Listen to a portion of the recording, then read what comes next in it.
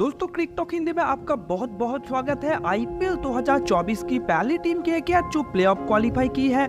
ऐसा के क्या टीम पहले शायद बहुत ही कम बार देखने को मिला है और इस साल उम्मीदें काफ़ी है कि तीसरी बार चैंपियन बनकर दिखाएगी के क्या जी हाँ दोस्तों, इस साल दोनों बार के ने मुंबई इंडियंस टीम को हरा चुकी है।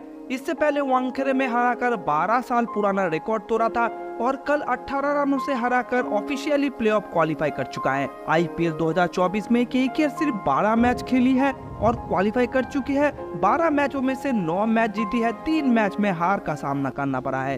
कल होम ग्राउंड ईडन गार्डन में इस साल की आखिरी मैच थी। शायद 2024-25 का लास्ट मैच क्योंकि बहुत ही ज़्यादा चांसेस है 2025 में के का होम ग्राउंड शिफ्ट होकर गुवाहाटी होगी। ईडन गार्डन रिनोवेट होने वाला है तो लंबा समय लगेगा काम खत्म होने में।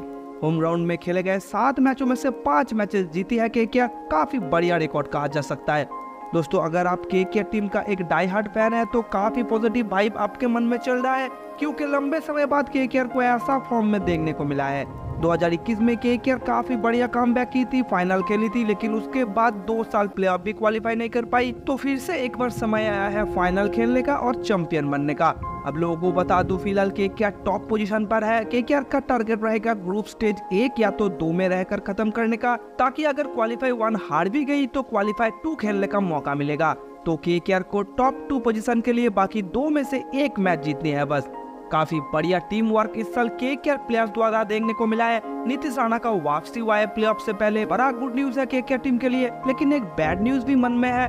क्या फ़ील्ड सॉल्ट प्लेऑफ के मैचेस खेल पाएँगे? फ़ील्ड सॉल्ट का ना खेलने पर पूरा प्लेइंग इलेवन बदल सकता है, और प्लेऑफ्स में प्लेइंग इलेवन बदलना किसी भी टीम के लिए सही नहीं होता है। अभी तक फाइनल अपडेट नहीं मिला है कि सॉल्ट खेलेंगे कि नहीं, पर बीसीसीआई और ईसीबी के बीच बातचीत जारी है। तो दोस्तों, आप कितना खुश है इस साल के को प्लेऑफ में देखकर? क्या लगता है लास्ट दो मैचेस में के राजस्थान और गुजरात टीम को हरा पाएगी कि नहीं? नीचे कमेंट करके ज़रूर बताना। वीडियो पसंद आया तो एक लाइक तो बनता है। मिलते हैं आपसे नेक्स्ट वीडियो में। तब तक के लिए बाय एंड टेक केयर